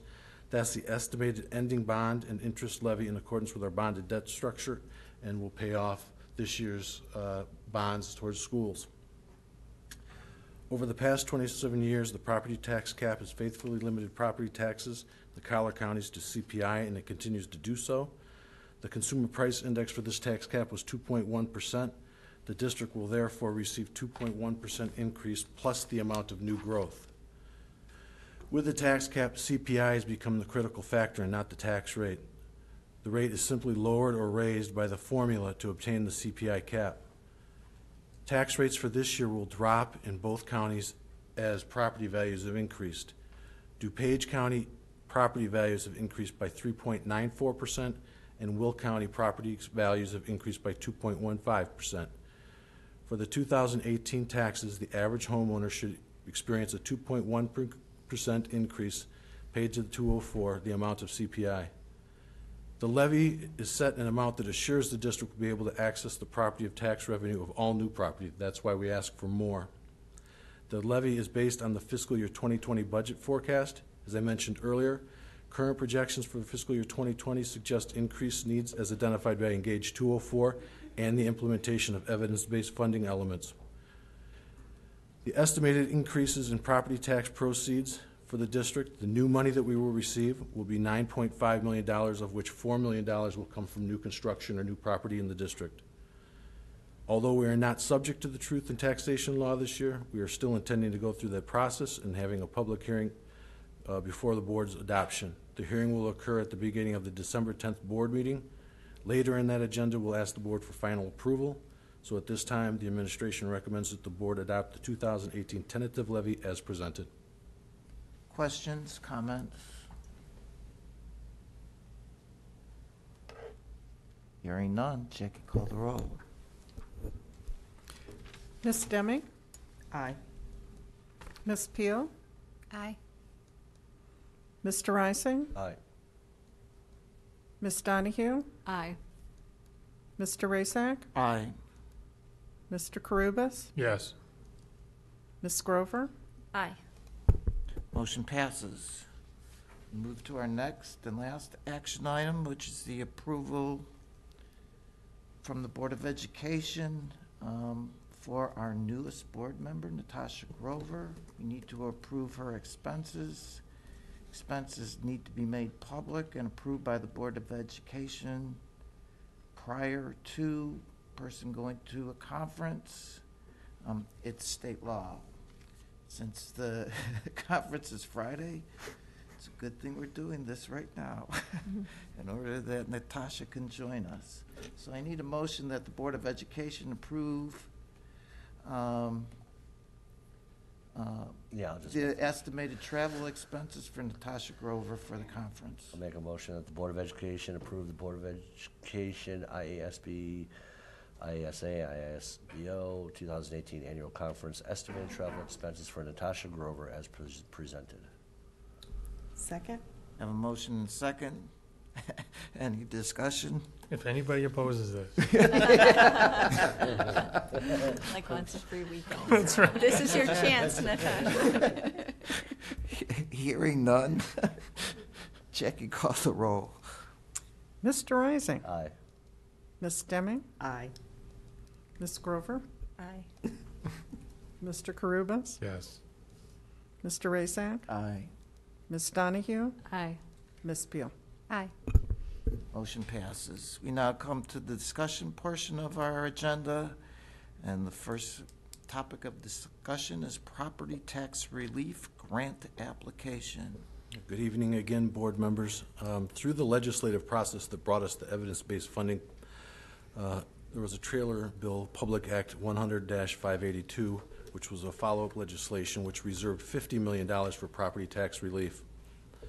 Of the $350 million that was allocated for fiscal year 2019 towards evidence-based funding, $50 million was pulled aside for property tax relief. I'd like to go through a little bit of the process. Applicants for the grant are available online and due January 7th, 2019 at 4 p.m. Districts that are eligible for the grant will be notified by ISB on January 31st. Um, It's important to note that almost every district in the state is eligible for the grant. Uh, If we are eligible, we will need to submit the abatement resolution to the county clerks in both DuPage and Will counties by March 30th. The county clerks will provide us with a certificate of abatement by April 15th, and the grants will be awarded to districts um, by May 20th. The threshold for, threshold for who receives the grant will be determined once all of the applications are received. So if, if people don't apply, there's a stronger chance that we'll receive the grant. Grants will be distributed to applicants, uh, districts, beginning with the districts with the highest tax rates, followed by the next highest until the $50 million is distributed. Any remaining funds will be put back into the evidence-based funding formula and go through the tier system, tier one, two, three, or four. Um, I want to put the grant into perspective. So the $50 million that are set aside, Indian Prairie School District 204 um, is eligible for $50.4 million. There are 286 districts that have a greater need than us, and based on their tax rates, those 286 districts represent $1.1 billion worth of possible tax relief. We will be submitting this grant and hoping that several districts with greater need don't. This grant is a long shot, but Indian Prairie School District has a history of being fiscally responsible, and we need to take advantage of this opportunity. So there's a one point one billion dollar need, and they're coughing up fifty million. There's a $3.2 billion need, but there's a $1.1 billion ahead of us. So when the state doesn't have money, they issue grants. I'm glad that we're applying. Good It luck. shows fiscal responsibility, good use of resources. Never hurts to try. There is a chance. I'd put that on the low probability side as well. I Thank you. think- I think Dr. Sullivan, instead of a book, should have given us a rabbit's foot and a hor- and a horseshoe. Yeah, a Sign four-leaf each of us a clover, but- portion, sign each of us a portion of the grant to have to do. It sounds like the chances of getting money back on those class action suits that you get from your 401K. Coupon. Not happening. Dr. Sullivan has signed the grant, and I believe the board secretary needs to, and then I'll submit it tomorrow. Thank you. Thank you. Thank you. And finally, the Finally, so sorry. the portion that I'm really looking forward to is our discussion and preschool update. Is it, is it a little lighter? and- You can sit wherever you like. Go ahead. I'm just gonna drive. Okay. Yeah. Welcome, everyone. Before we begin, I just want to make sure we follow protocol. Would you like questions, because we're a chatty group? As the, uh, as the presentation is ongoing, or would you like it at the end? Either way, I think works for us. We're happy to answer whatever questions that you have, so whatever's Great. most comfortable for you. Thank you. I just want to follow our norms. Sometimes it's easier when it's right in the middle. so. Okay, great. Thank you so much. Uh, thank you for the opportunity tonight to talk with you about our wonderful Prairie Children Preschool. Um, I'm here um, representing both Laura Johnston and Christina Sepiel, who also work with the preschool. There's only so much room at the table, so I uh, got Hmm. the big straw so that I could be here tonight to celebrate with you. I'm going to let everyone else um, introduce themselves. Would you like to start? My name is Tracy Rico, and I'm a speech pathologist at the preschool. I'm Christine Black, and I'm a teacher at the preschool. What room? I'm the pony room. I'm Sally Osborne, and I'm the principal at the preschool. And Jen Newport, the instructional specialist on special assignment. That's what we just, that's what we decided tonight. Sounds Was her important. title. Hmm. Okay. Well, moving on. Um, The purpose of tonight's presentation is to share the wonderful opportunities provided to students at our Prairie Children Preschool. Um, This does coincide with um, Board Policies 6120 and 6170, as our preschool does uh, work with students, children with disabilities, as well as students designated Title I. Um, First off, I really would like to take a few minutes to celebrate and con- congratulate the staff at Prairie Children Preschool on earning the ExceleRate Gold Circle of Quality. The Gold Circle of Quality is recognized by the state as meeting or exceeding quality benchmark standards in the areas of learning environment, instructional quality, and program administration. You may ask yourself, why Prairie Children Preschool? So I'm here to tell you a couple things. I'd like to highlight a couple things. Um, the first thing is high-quality staff. Um, our staff, all staff hold a professional educator license or licenses in their field. Um, we are able to provide a high-quality early childhood education to all the children in our community, but we're really most excited about we're able to provide preschool to those children and those families who might not otherwise be able to afford it through a grant program. And then I think lastly, one of the whys is because we're part of the Indian Prairie School District, we're really able to work with our counterparts in the elementary to provide a smooth transition for our students as they move on to the kindergarten, onto kindergarten in the district. I always have to talk, I feel like I'm screaming in that. I always have to talk um, about staff because I don't, I don't know if people are aware that all our teachers at early, at the Prairie Children Preschool have multiple uh, endorsements or improve, approvals in terms of all of them have early childhood approvals or endorsement, early childhood special education, as well as many of our teachers have English as a second language as an endorsement or approval. I really just want to talk uh, like a, a couple minutes about classrooms and students because I don't think people realize how large we are. Downstairs on the first floor, we have 24 classrooms, 24 classrooms of preschoolers, and we have four classrooms that are out eh, located in the elementary schools. Um, I just listed up here some of the classrooms we have. We have inclusion classrooms, which are a combination of students who pay tuition and students who have individual education programs. Um, we have three Title I classrooms. Those are our classrooms that are located out at the elementary buildings. Um, we also have self-contained classrooms, which are our smaller classrooms for uh, all our students with IEPs are in, in those classrooms. We have a bilingual classroom, and that's a classroom that's taught um, primarily in Spanish, 90% Spanish, 10% English. Um, and then we have a, phono, a phonological only classroom, which is one of our classrooms housed out at Graham Elementary, and those that's for students who have significant speech articulation needs, and it's taught by a speech and language pathologist. Um, we have approximately 651 students enrolled at the preschool.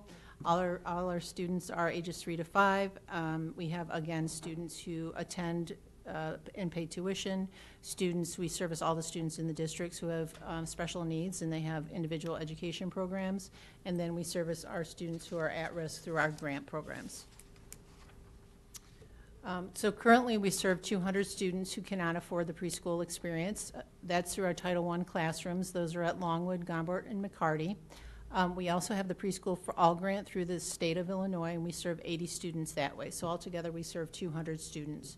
We're really able to provide a variety of um, services to students in terms of, we're able to provide transportation, we provide parent education to um, parents at the preschool. We provide assistance for school supplies, for snack, holiday assistance. We also provide summer school for students who are moving on to kindergarten in the fall. The last thing I want to mention is that we also do dental screenings, vision and hearing screenings. So there's a lot of things that we offer our at-risk students as well as our um, students in general who are attending the preschool. Our goal is really to provide a solid educational foundation for students and to close that achievement gap for our most at-risk students. This is one of my favorite slides because um, you will see that investment, $1 of investment in early childhood education gives you $7 in return. Um, so what that means is if you invest in early childhood now as a society, if you read all the way over to the end then, we're really gaining more capable, productive, and valuable citizens. That's our outcome. Money well spent. Money was spent, yes. Um, I talked a little bit ab- about why Prairie Children Preschool, but I think that one of the things we're able to do is really provide a smooth transition to elementary school. I just wanted to highlight some of our instructional practices. So really, we use the creative curriculum. That's kind of our base. That's really we use this use this to um, help the teachers engineer their learning environment. Um, it's also about child initiative, child initiated choice um, during the day. Uh, we provide instruction in a large group, a small group, and one-to-one instruction within a structured daily routine. We also use an assessment called the Teaching Strategies Gold Assessment to really monitor students' learning throughout the school year. In addition to looking at academics, we also focus on social emotional growth and development. We have a program called the PATHS program, um, promoting alternative thinking strategies, which really teaches students, among a lot of things, but how to solve um, problems when they're in a conflict situation. We also use positive behavior interventions and supports, so you'll hear all, everything we talk to our preschoolers about in, in positive manner, be ready, be, be respectful, and be safe. And then finally, we really wanted to highlight tonight, um, we have developed units of study based on the Illinois Early Learning and Development Standards to really ensure that our students are being provided high-quality instruction within a developmental appropriate instructional framework. And to, uh, before our teachers uh, share with you some of the specifics of those units of study, I wanted to give you a little bit of a background um, about the team in particular. If I were to have only, only three adjectives to describe the team, uh, the first one would be diverse. This was um, a team of 10 teachers. A, it was a large team and a very diverse team, each bringing a particular talent uh, to the table ultimately uh, creating this, these units of study, seven of them, in a very collaborative manner with a great deal of effort, which brings me to my second adjective, which is generous. They were generous with their time, with their talents, with the writing, and then also with the implementation of these units of study, which began last year and continues with this in this year. And finally, professional, which is what you would expect of our teachers in this district. Um, their knowledge of their youngest students uh, in this district, uh, paired with their creative resources, really per, uh, produced this contextualized and dynamic unit of study approach to teaching. So when you hear about the units of study um, and it's being aligned to the understanding by design structure, we look at a framework for improving student achievement. And a couple of things that I'd like to emphasize are these. What this structure does is emphasizes a teacher's critical role as a designer in student learning. They also, it, it helps teachers to clarify their learning goals, to devise relevant assessments of student understanding, and to craft effective and engaging learning activities. Students and um, their school performance, uh, student and school performance gains are achieved through regular review of results of their achievement and of their work, followed by targeted adjustments to the curriculum and instruction. In other words, we see through implementation, through teaching and instruction, how students are learning. We look at that and we determine if they've met that goal. If they haven't, we talk about it. If they have, we decide what to do next. Teachers also become more effective in the way that they seek feedback from their students and their peers, and they use that feedback, as I said, to adjust their teaching approaches. The implementation of uh, these units of study began last year, as I said. It's a team process. It rolled out with, um, with our Institute days and also with Building Articulation days. It also continues in discussions and meeting as teams in professional learning communities within Prairie Children Preschool. And the teaching uh, leadership, that the teachers that, that did write the curriculum continue to support the teachers it, that are their peers um, through professional development as well. Now, our, uh, Christine and Tracy are going to share with you some of the specifics of each of our units of study.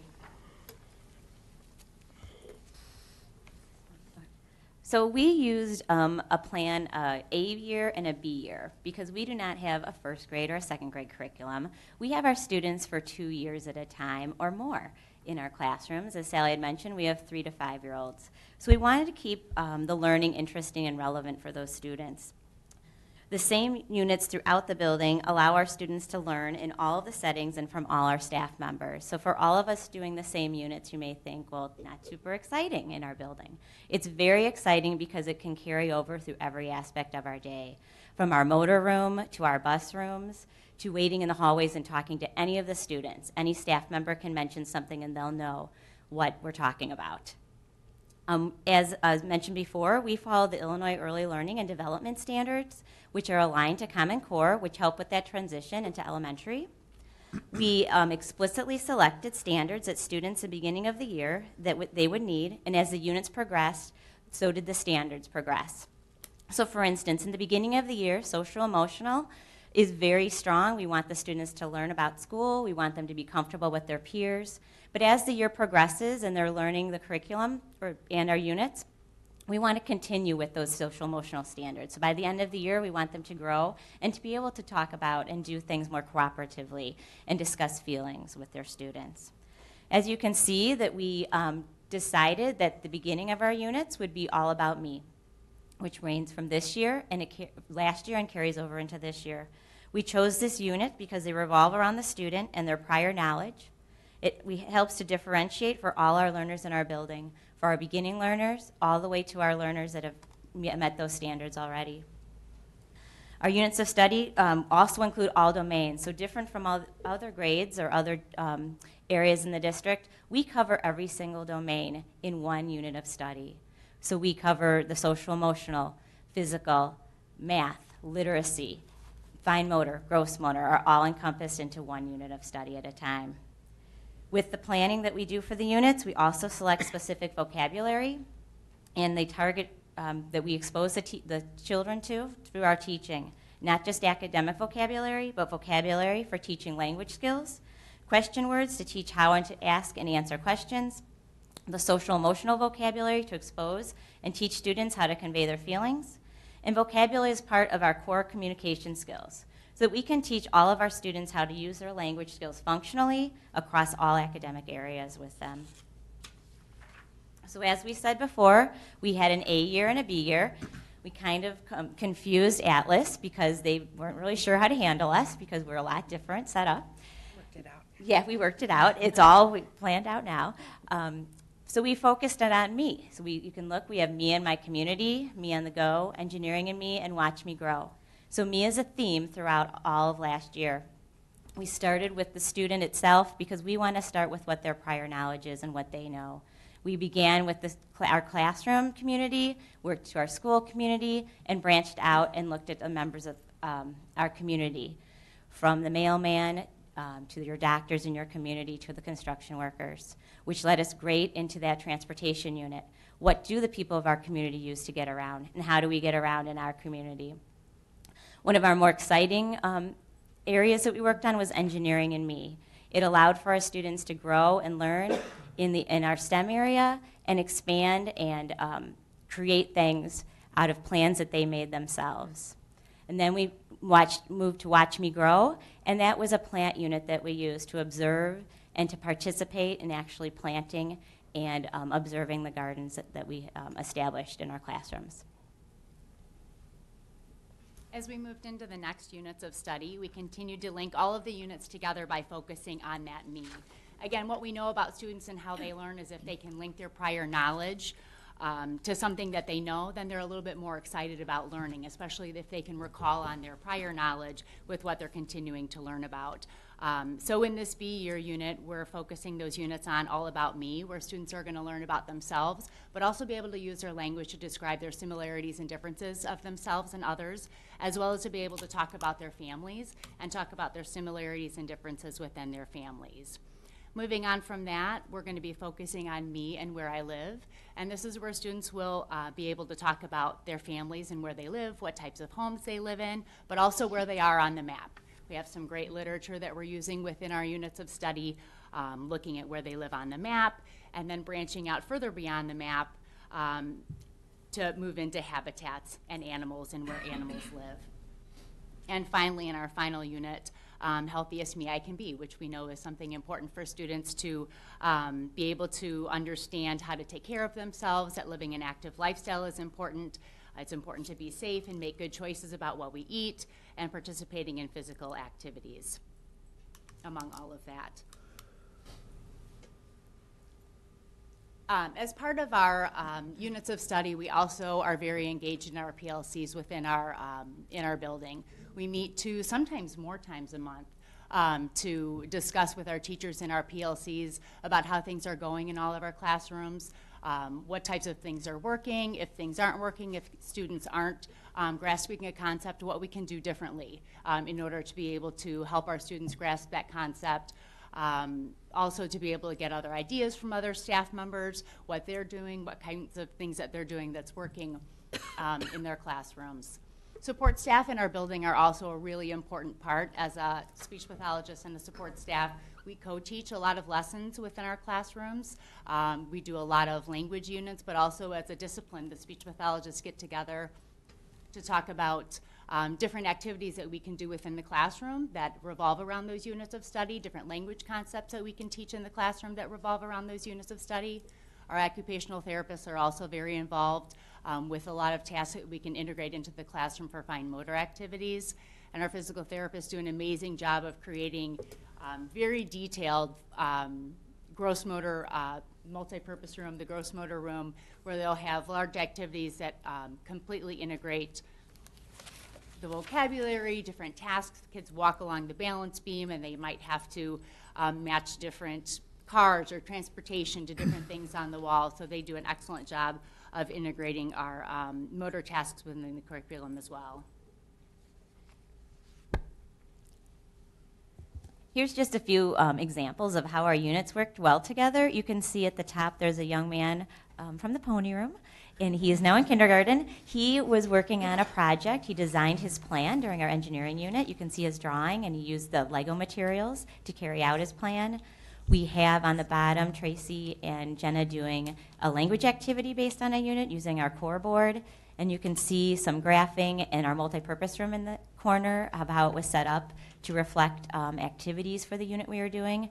And then you can see a, um, somebody journaling, um, observing their plant that was growing. And Tracy's up there too. We took our cars out and had the students come out and look at the parts of our cars um, so that they knew one of some of our words we were talking about steering wheels and the lights and the tires so they got hands-on experience um, to look at our own vehicles that we pulled up And I'm not sure if we have this pictured, but another really important piece that we do within our classroom is learning through learning through play.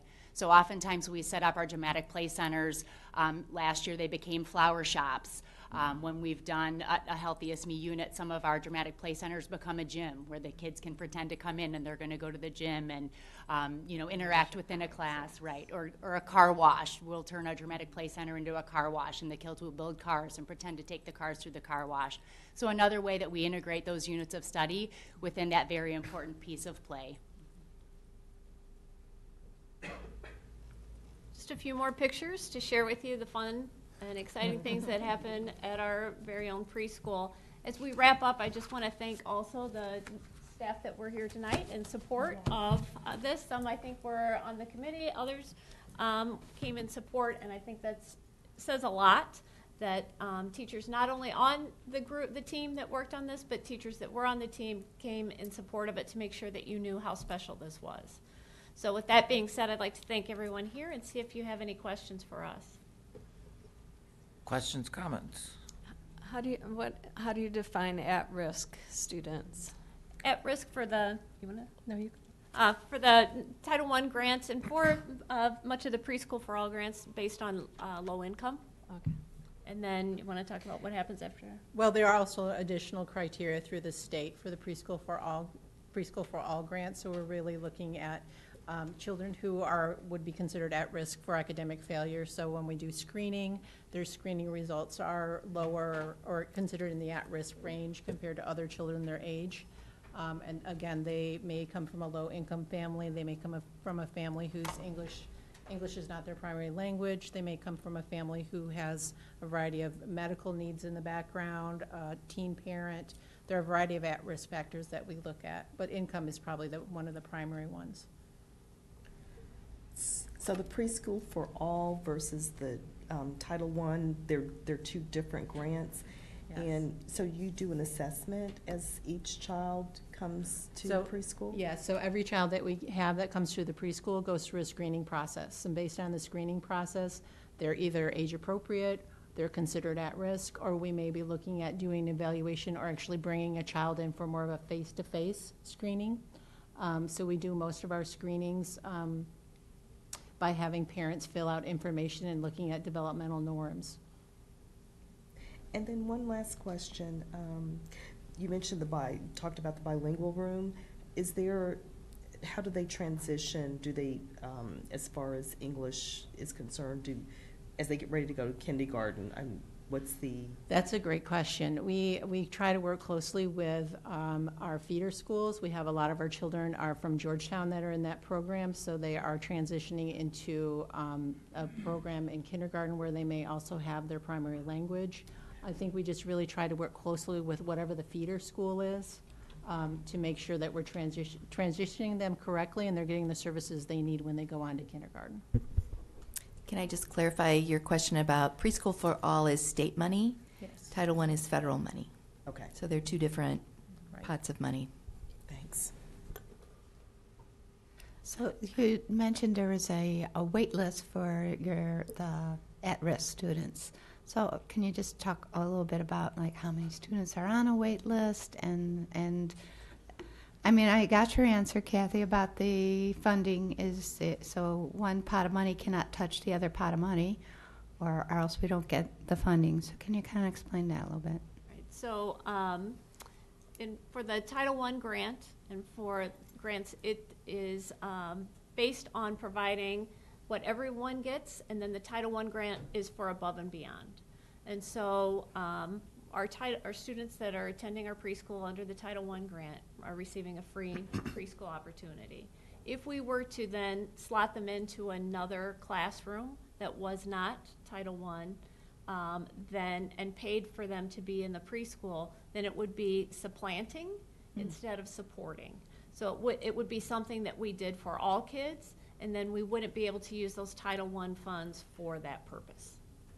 So it's, it's a, um, the purpose is to go on top of what everyone gets, and so that's, um, part of the issue. It doesn't make a lot of sense, Yeah, because you would because think it- you would want as many students Right. in For that as one to possible. seven dollar saving thing. Right, that- right, okay. right. Okay. But that's, that's um, how the, the rules follow, and um, so we have to, and we have to be compliant in order to maintain the opportunity to provide that for the number of students that we do provide. We should write a resolution Yeah, about probably, probably. We could probably write six hundred million. What does that, what does that wait list look like? How long is it? Well, the, the, there's wait lists for Title I. We're always moving kids in and out depending on, um, you know, that can be a, more of a transient population. So we're almost always having, I- can't tell you exact number right now. For preschool for all, they expect us to have all our slots filled by October fifteenth, so we are filled with our eighty slots. We are almost completely filled with our hundred and twenty for Title I. So once they're filled, every- then the kids go on a wait list, and we start looking at any movement um, for, for both of those groups of children. So when a student moves out, There's somebody right there. to- someone right But It's not like a hundred kids that are. There's, you know, no, yeah. there's not. Okay. And- And since they have to go through a screening process, we know all the kids that are coming in, because we're, co- we're continu- continually screening pretty much daily, we're screening children. So we know who those children are, what their home elementary school is, what their needs are, what their at-risk um, background looks like, so we're able to quickly um, get children into spots that are open.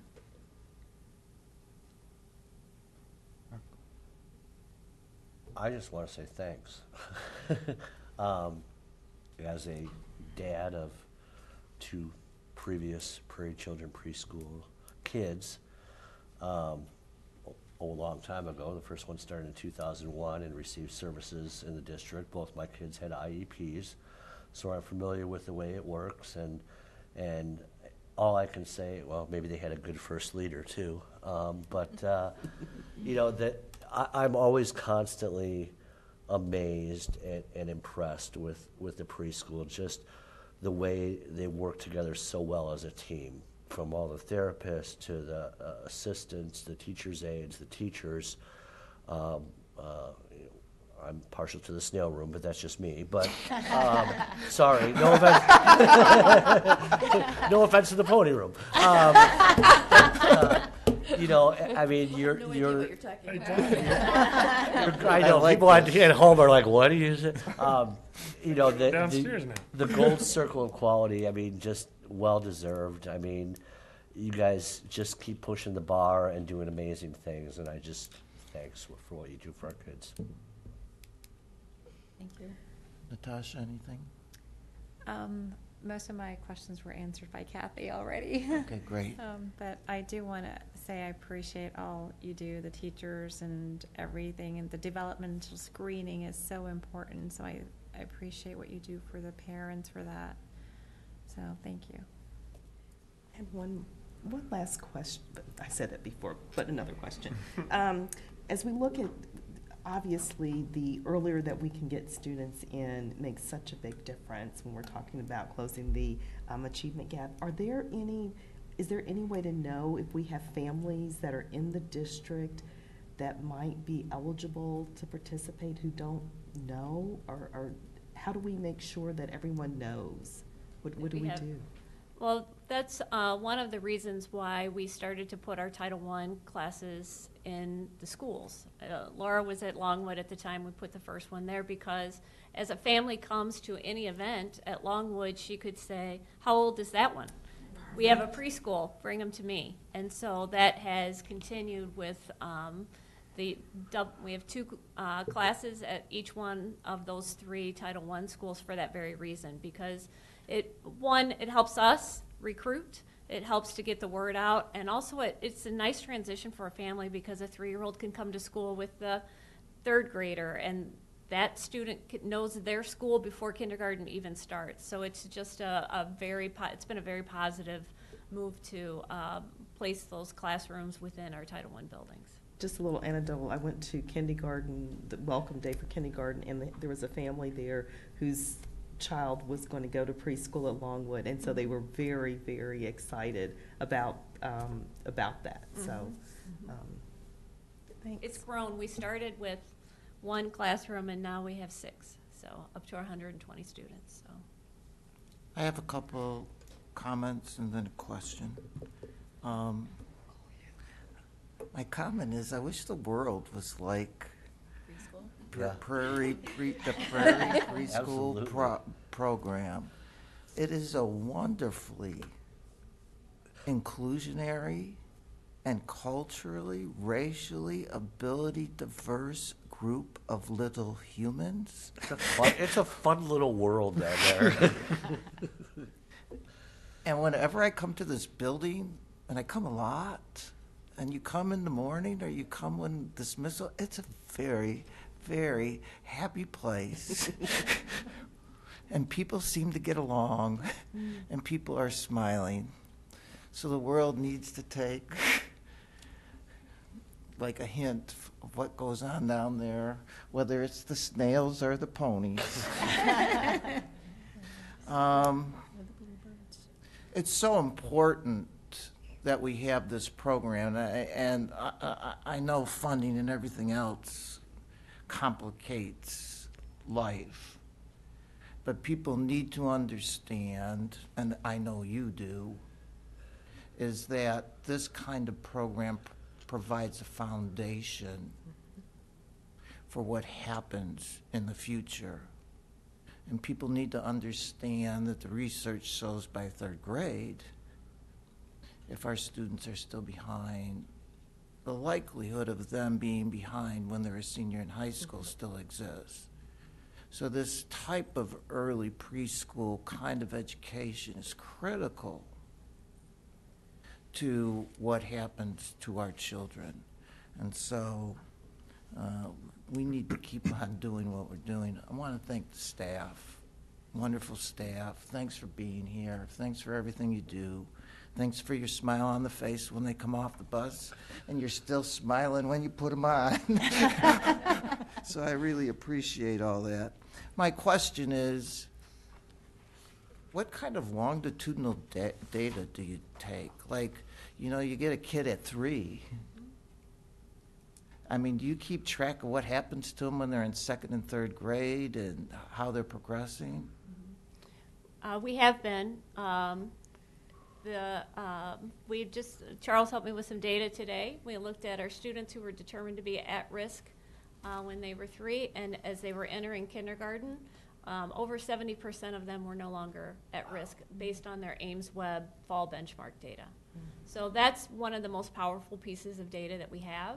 Uh, we continue to uh, see then what happens at first grade, second grade, and we'll continue to watch that as we move forward. We've concentrated on the Title I piece because those seem to be our neediest population, so we've been looking at those students as well um, as we uh, move through that. But we, you know, through Charles and his assessment team, they've done a nice job of being able to create a group for us to be able to watch uh, the progress of those students as they move throughout. So, so far the data has been positive, um, that it is making an impact. We knew that, but it's so nice to have the data to validate great. all the things that they're doing. Is there a mandate that we have preschool? For students with disabilities, yes. For Yes. disabilities, yes. Yes, we have to service all students with um, special needs when they turn three. The Title I piece is our choice.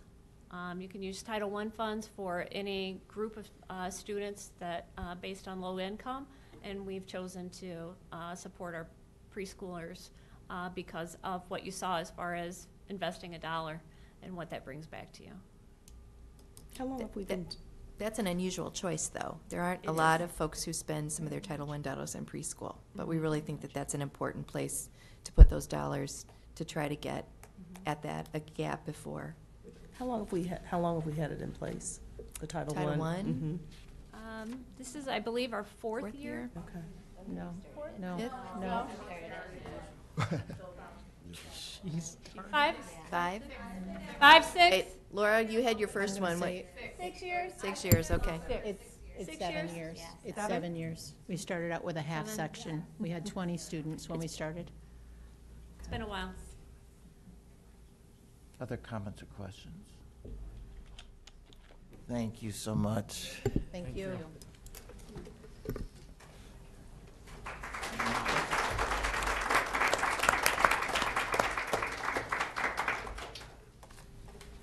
Uh, Board of Education update. Um, I think Justin and Susan may have a report on equity, belief statement, and/or policy. Yeah, the, uh, the ball's moving forward on that work. Um, I've solicited uh, and received uh, some of our information on equity.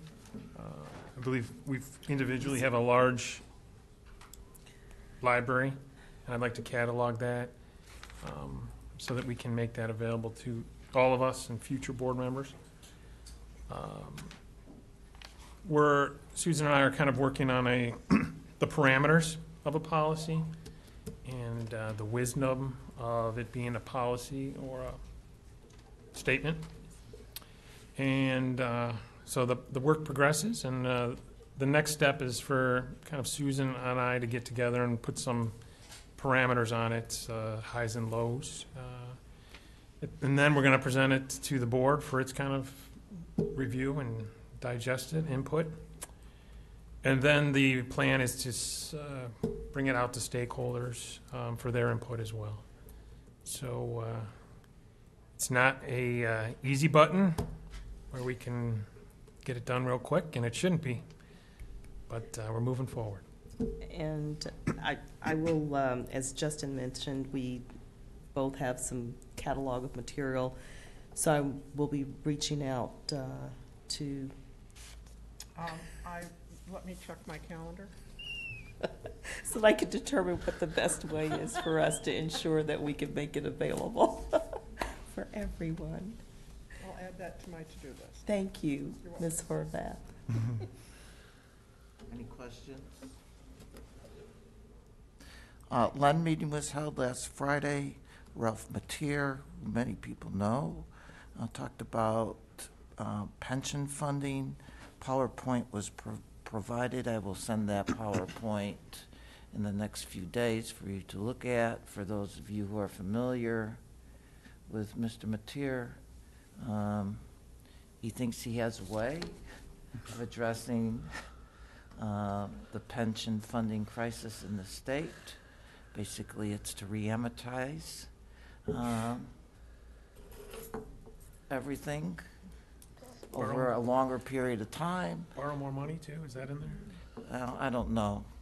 And so that was uh, th- that part of the presentation, so you can look at that. Um, I was not at that meeting. We were represented by Jay because my final comment is about, I really want to thank the staffs and all the community members who participated in the Veterans Day ceremonies. Uh, Those of us who were there were sort of blown away, actually. Um, and what we were blown away with is the message that was that was presented to our students, um, whether they were elementary students and very young kindergarten students, to, or to high school students, and somehow the school's programs and the community members who presented just gave students an idea of what service was and service to their community and service to their country. Um, every time I go, I learn something about service too. So they're really, really well done. I'm glad we have school that day because I think a lot of great teaching goes on during that time period. That's very important to our kids. So I want to thank our schools. I want to thank all the community members who participated uh, because I think it makes a difference in the lives of our children. With that, do I have a, to adjourn. do I have a second? Good job, Kathy. Second. All approve? Say aye. Aye. Aye. Need your